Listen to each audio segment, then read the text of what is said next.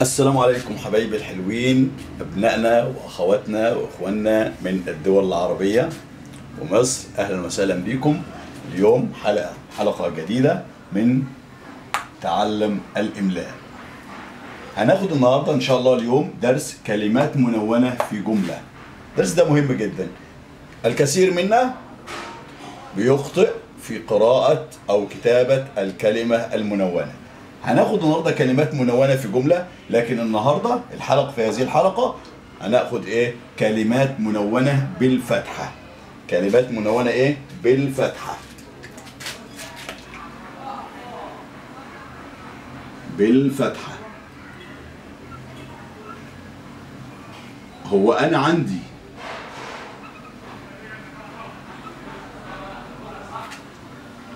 تنوين غير الفتحة؟ طبعا عندنا تنوين غير الفتحة بس لازم نعرف تنوين يعني إيه؟ تنوين بالفتحة يعني الكلمة بيبقى عليها فتحتين اتنين. تنوين بالكسرة الكلمة تحتيها كسرتين اتنين.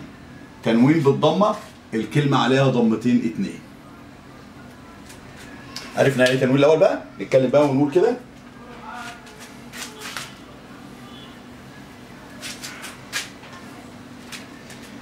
قرأ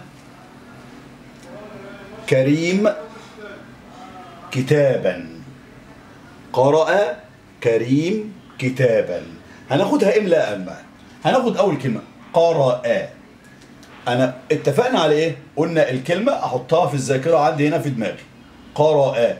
ولما آجي أكتبها أكتب حرف حرف يعني خرج من فمي حرف واحد بس. قرأ. يبقى أول حرف إيه؟ قا قا بس. ما ينفعش أقول قارا را لا ده هما كده حرفين. قا يبقى أكتب القاف.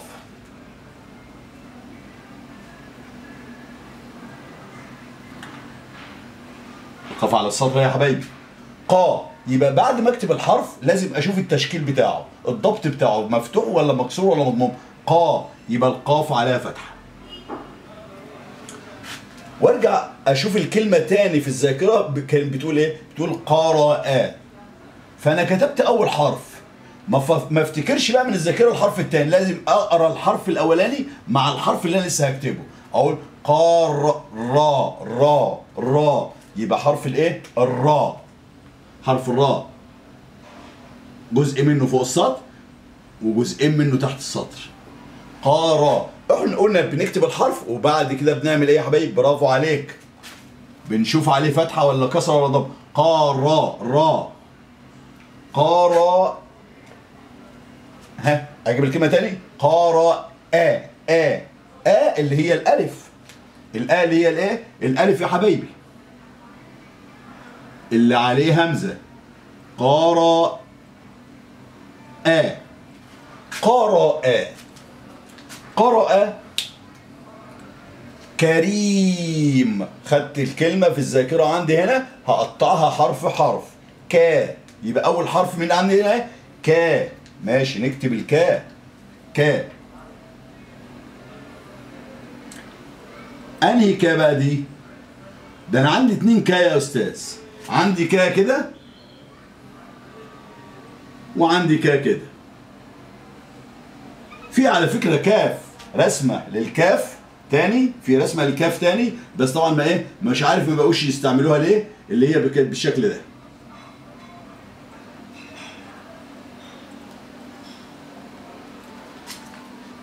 الكاف دي يا حبايبي؟ والكاف دي هي نفس بتاخد نفس الصفة. بمعنى الكاف دي والكاف دي دول الاثنين دول بيكتبوا في أول الكلمة أو في نص الكلمة. في أول الكلمة أو في نص الكلمة أو في نصف الكلمة. أما الكاف اللي عليها همزة دي اللي فوق منها المهموزة دي الكاف دي ما تكتبش إلا في آخر الكلمة. يبقى أكتب أنه حرف أكتب ده ولا ده؟ الاثنين زي بعض. الاثنين زي بعض. المتبع عندنا في الكتب بقوا يستخدموا الكاف دي. خلاص ما فيش مشكلة. قرأ ك كا كا وبعدها أفتكر تاني بيقول إيه؟ كريم كريم. أنا قلت نطقت الكا كا كا أنطق الحرف اللي بعدها بس. كاري ري ري ما كملش. ري يبقى را. ري يبقى الراء تحتيها كسر قال إيه؟ قرأ كريم. قرأ كري الله. كري ده فيها هنا عندي مد. إيه هو المد بقى يا حبايبي؟ مد بإيه؟ مين يتذكر؟ يا راجل. مد بالألف؟ ينفع؟ لا مش مد بالألف. مد بإيه؟ بالواو. لا ولا بالواو. مد برافو عليك. مد بالياء. ليه يا أستاذ مد بالياء؟ لأن الحرف اللي إيه؟ اللي قبل الياء تحتيه كسرة. والياء ما عليهاش ولا شدة ولا حاجة. كري كري خلصت كري بس هي الاسم الكلمة خلصت؟ لا لسه فاضل حاجة تاني. كريم م م ميم ميم. برافو عليك. كريم. انت قلت لي يا أستاذ كريم م م الميم هنا على إيه؟ قرأ كريم. كريم قرأ كريم. انت قلت لي يا أستاذ بنكتب الحرف وبعد كده نحط عليه الايه؟ الشدة والفتحة والكسرة بتاعته. آه تمام. الياء هنا ما نحطتش عليها ليه؟ لا. ياء المد وألف المد وواو المد بيبقى عليهم أصلا سكون. لأن هم لا ينطقوا. لا ينطقوا. لا إيه؟ لا ينطقوا. كاف ال- الياء المد. وألف المد وواو المد ما إحنا عندنا المد ثلاث أنواع بالألف والياء والواو. الياء والألف والواو ما بيبقاش عليهم أي تشكيل ولا فتح. لو كان عليهم فتحه أو كسرة أو ضمة ما يبقوش مد يتقر يقرا يقرأوا بقى.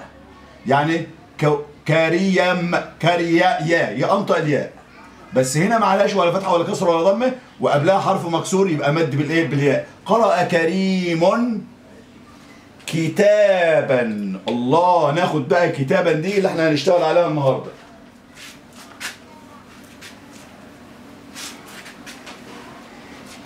كتابا. اخد أنا حرف ما خلاص الكتاب كيتا أول حرف إيه؟ كي كي. مش تي. مش تاء كي. يبقى الكاف. خلاص خل- تعودنا بقى. عرفنا الكاف دي هي اللي بتيجي في أول الكلمة. أو في نص الكلمة. كي. يبقى الكاف تحتيها كسرة. كي تا تا تا تا. كي تا. ما أقولش ما انطقش حرف التاء وأنا هكتبه. لما أجي أكتب حرف التاء ما انطقش التاء لازم أنطق الكلمة من الأول. لازم انطق الكلمة من إيه من الأول عشان أجيب الحرف اللي بعدين. أنا واقف لغاية حرف الايه؟ الكاف. يبقى أقول إيه؟ كا كي تا كي تا يبقى التاء.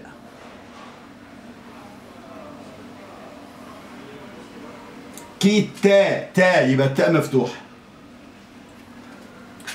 كتاب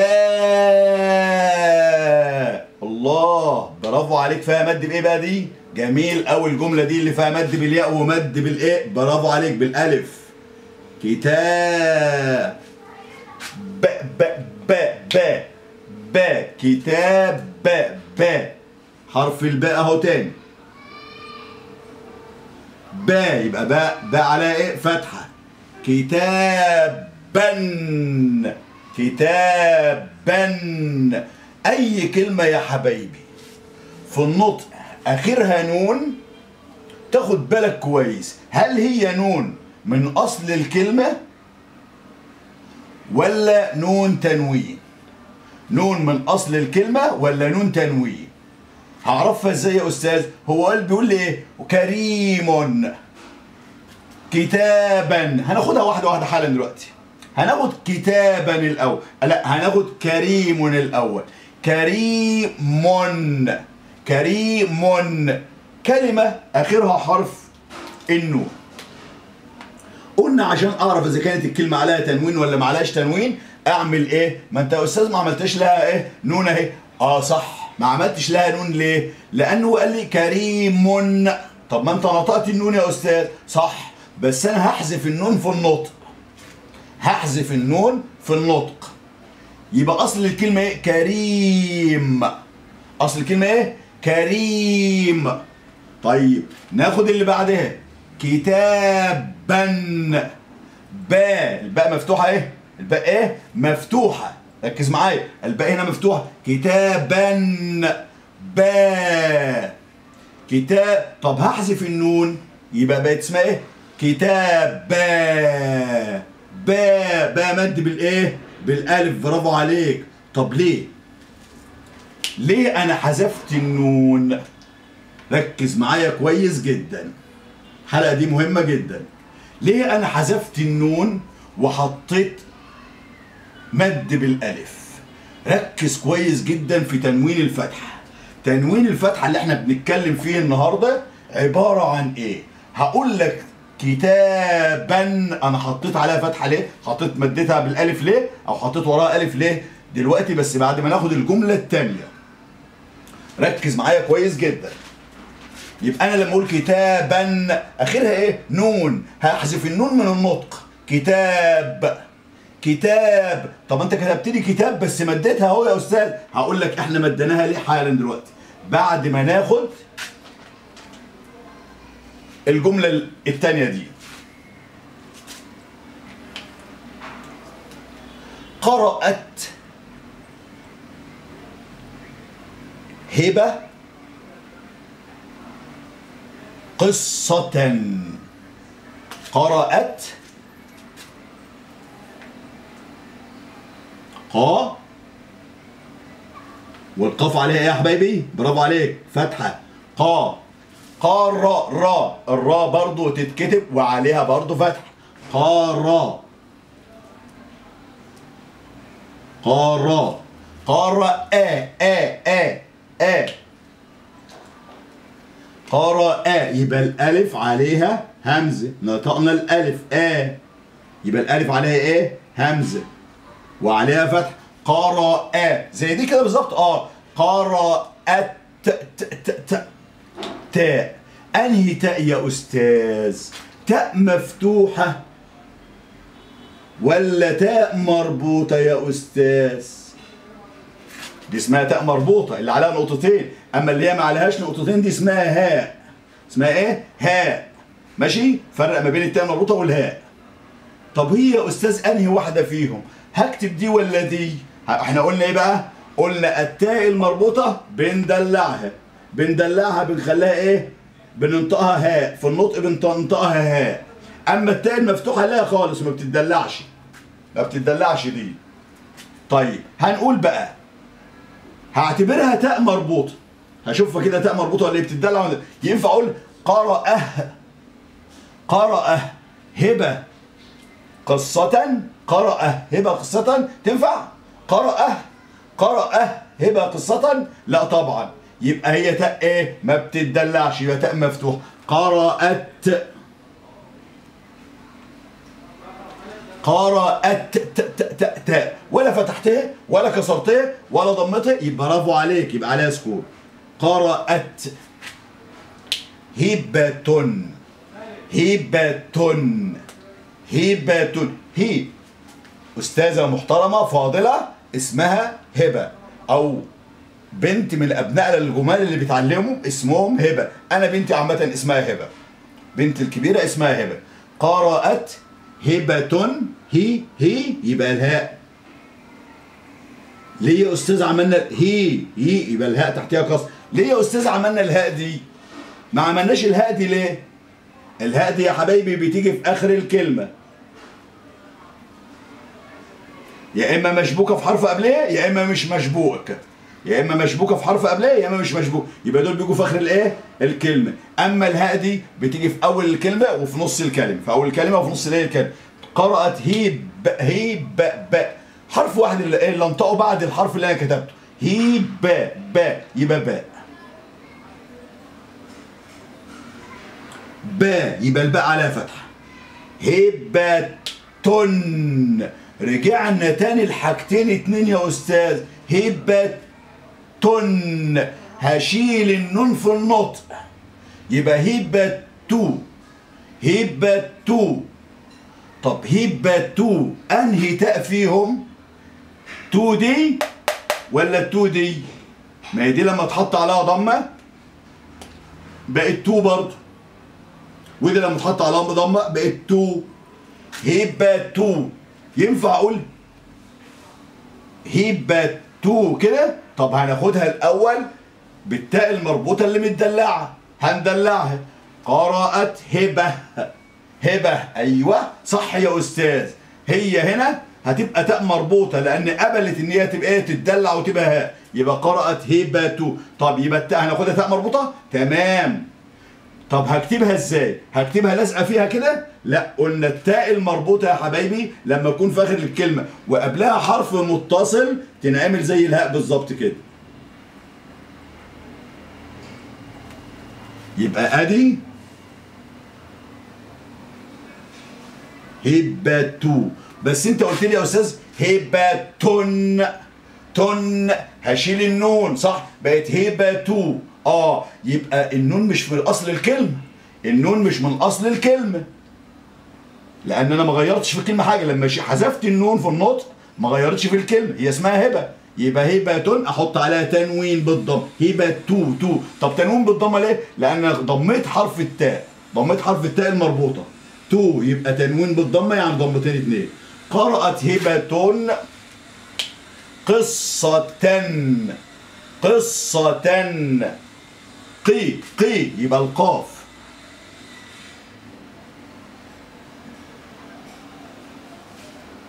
قي. قصة. قصة. جميلة أوي الصاد دي. صا صاد. هعمل الصاد الأول.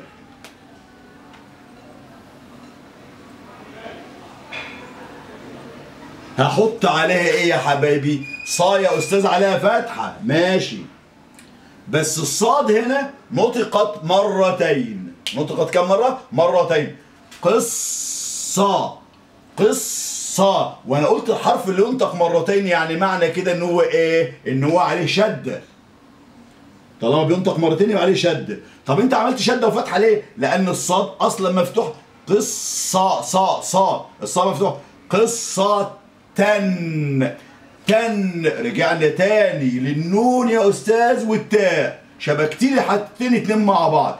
هنتخلص من النون الأول. قرأت هبة قصة تن هشيل النون. يبقى قرأت هبة قصة تا تا تمام؟ مش قرأت هبة قصة. هي كلمة قصة دي اتغيرت؟ لا هي قرأت قصة. يبقى حطها تاء أنهي تاء يا أستاذ تاني ينفع تتدلع؟ لازم نبدأ بالتاء المربوطة الأول نشوفها هتتدلع ولا مش هتدلع قصة. هي التاء المربوطة بتتدلع بتبقى إيه؟ بتبقى هاء برافو عليك. يبقى قصة.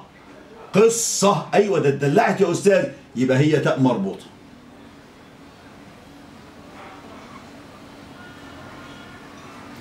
نرجع تاني للتنوين يا أستاذ. قلت لي قصة تن. ما إحنا حذفنا النون. آه حذفناه بس نحط التنوين بتاعها بقى. قصة تاء التاء هنا مالها مفتوحة ولا مكسورة ولا مضمومة تاء برافو عليك مفتوح. يبقى عليها تنوين بالفتح.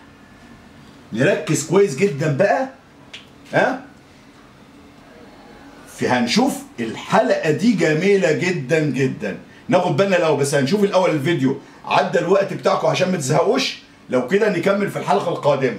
لحظة من فضلك. ممكن نكمل. ممكن نكمل.